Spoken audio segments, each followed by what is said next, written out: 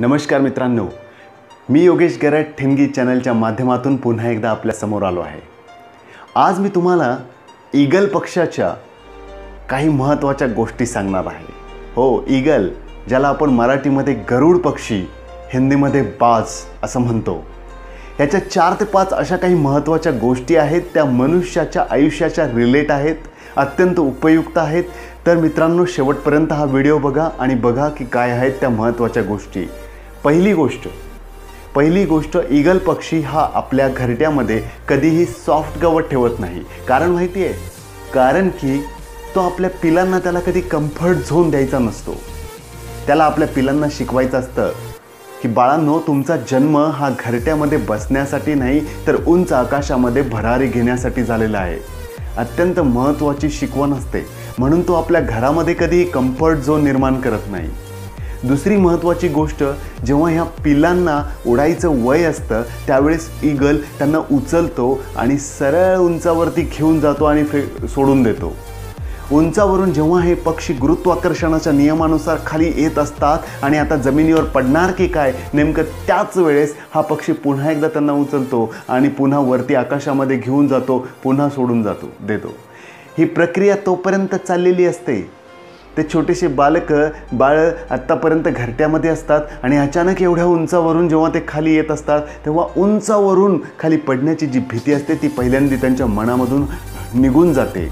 त्यांचे पंख त्यांच्या शरीरापासून विलग होऊन उंच भरारी घेण्यासाठी सज्ज होतात. त्यांच्या पंखामध्ये एक ताकद येते आणि ते उंच भरारी घेतात. अत्यंत महत्त्वाची अशी शिकवण ईगल पक्षी आपल्याला देतो की उंचावरती भरारी घेण्यासाठी रिस्क नावाची गोष्ट असते जी आपण आपल्या मुलांनाही शिकवतो की रिस्क घेऊ नका. परंतु ती एक कॅल्क्युलेटेड रिस्क असते. त्या पक्षाला पूर्ण माहिती असते की आपल्या पिल्लांना काहीही होणार नाही आणि अशी घेतलेली जी रिस्क असते कॅल्क्युलेटेड रिस्क असते तीच तिच्या पिलांमध्ये एक ताकद भरते. तिसरी महत्त्वाची गोष्ट एक गॉड गिफ्ट या पक्षाला असते. ते म्हणजे पाच ते सहा किलोमीटर अंतरावरून. हा पक्षी जमिनीवरती काय ॲक्टिव्हिटीज चालली आहेत ते बघू शकतो. आपल्या ध्येयावरती याचा फोकस अत्यंत क्लिअर असतो. आणि त्या फोकसच्या सहाय्याने तो बरोबर आपली शिकार क्षणार्धात करतो. अत्यंत वेगाने येऊन आपली ती शिकार करत असतो. त्या आपली जी शिकार असते तिच्या ॲक्टिव्हिटीजवरती तो अत्यंत उंचावरूनही अगदी बरोबर लक्ष ठेवू शकतो. यातून आपल्याला तो शिकवतो की आपलं विजन किती क्लिअर असायला पाहिजे आपलं ध्येय किती क्लिअर असायला पाहिजे जे काही मिळवायचं आहे त्यावरती कशा पद्धतीनं आपलं नियंत्रण असायला पाहिजे या सर्व गोष्टी हा पक्षी आपल्याला शिकवतो. पुढची महत्त्वाची गोष्ट मित्रांनो पुढची महत्त्वाची गोष्ट म्हणजे जेव्हा वादळ वारा पाऊस असतं तेव्हा इतर पक्षी तेव्हा इतर पक्षी हे आपल्या घरट्याकडे वळतात. परंतु ईगल बेधुंद होऊन त्या पावसामध्ये त्या वादळामध्ये उडत असतो. इवाना तो बऱ्याच वेळा त्या ढगांच्या वरतीही उडत असतो. आपल्याला तो शिकवतो की संकट आयुष्यामध्ये येतच असतात परंतु त्या संकटांचा आपण सामना करायला पाहिजे. त्यामध्येही आनंदाने आपलं जीवन जगायला पाहिजे. आणि तो अत्यंत आनंदाने ते जीवन आपलं जगत असतो. इतर पक्ष्यांमध्ये आणि ईगलमध्ये एक अत्यंत महत्त्वाचा फरक आहे. ईगल हा कधीही छोट्या पक्ष्यांबरोबर उडत नाही तर तो उंच आकाशामध्ये भरारी घेत असतो. तो आपल्याला शिकवतो की जे छोटे विचारांची जी छोटी छोटी विचारांची जी माणसं आहेत जी लोक आहेत त्यांचा विचार न करता आपले विचार नेहमी उंच ठेवायला पाहिजे आपली ध्येय आपल्या इच्छा नेहमी उंच ठेवायला पाहिजे. आणि अत्यंत महत्त्वाची गोष्ट म्हणजे ईगलचं वय हे सत्तर वर्ष असतं. ह्या त्याच्या सत्तर वर्षाच्या प्रवासामध्ये त्याच्या आयुष्यामध्ये चाळीसाव्या वर्षी एक अत्यंत महत्त्वाचा असा टप्पा येतो. आणि ज्या टप्प्यावरती त्याची शिकार करणारी जी नखं असतात तीही काम करत नाही. त्याची शिकार करणारी जी चोच असते तीही वीक झालेली असते आणि तीही काम करत नाही. आणि जेव्हा हे सर्व काही असतं त्यावेळेस ईगलच्या आयुष्यामध्ये एक महत्त्वाचा टप्पा आलेला असतो. आणि ईगल खडकावरती आदळून आदळून आपली चोच फोडून टाकतो. तोडून टाकतो ती चोच.